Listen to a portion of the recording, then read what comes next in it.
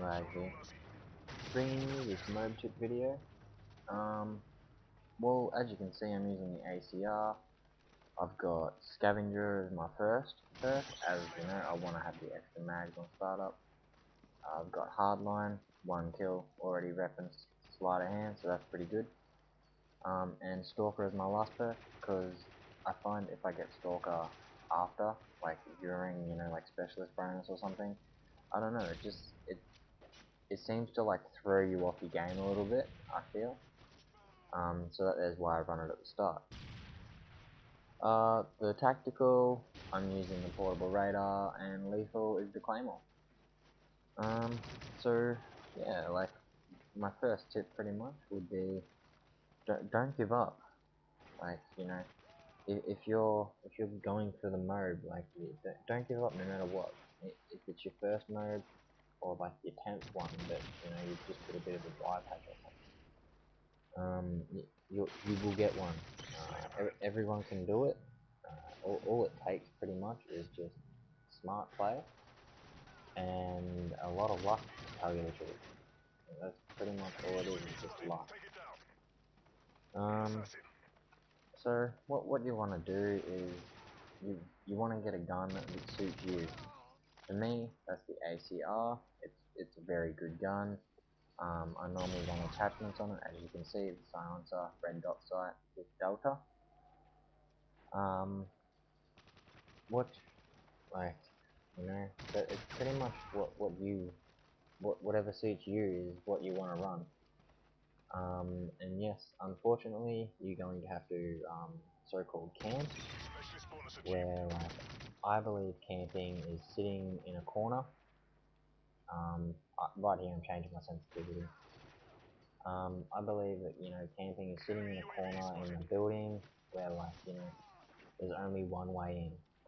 Whereas you know here, I believe this is actually you know, working an area. I'm, I'm holding down like 20% of the map and pretty much not letting anyone in. Um, and that, that's how I get a lot of my MOABs. Like, you know, the run and gun is extremely hard. You, you, you get buzz killed, everything just goes wrong. Um, I don't know, it's just, it's just hard. What, you're going to want to stay on the outside of the maps um, so that you've got less, you've got less flanking, you know, like people, it's going to be harder for people to flank you. Um, one thing you're going to have to do is use cover. Make sure you've always got a little bit of cover, you know, something you can jump behind to regain your health, or, you know, something that you can hide behind and, you know, sh shoot through and hopefully get a kill. Um, there's a great example of it just before I actually get my MOAB. Um, look, it just helped me there. The, the noob tube just hit the barrels in front of me. I took no damage at all. Um, I do get asked a lot what sensitivity I'm running.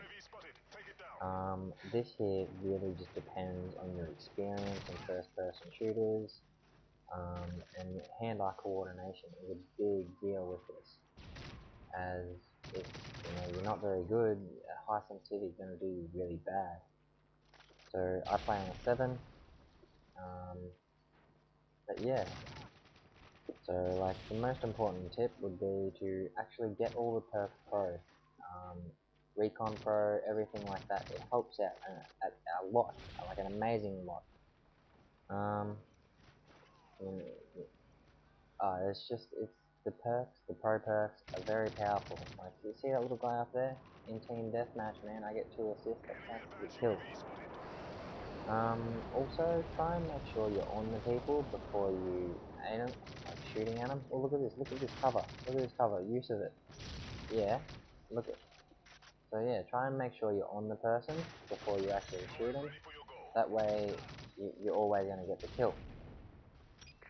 Um, yeah, so that that's my tips for getting the MOAB. Um, I'd wish you the best of luck, and I I hope that you know something I have said can help you out. Um, so yeah, that that's just me, you know, chucking some laps.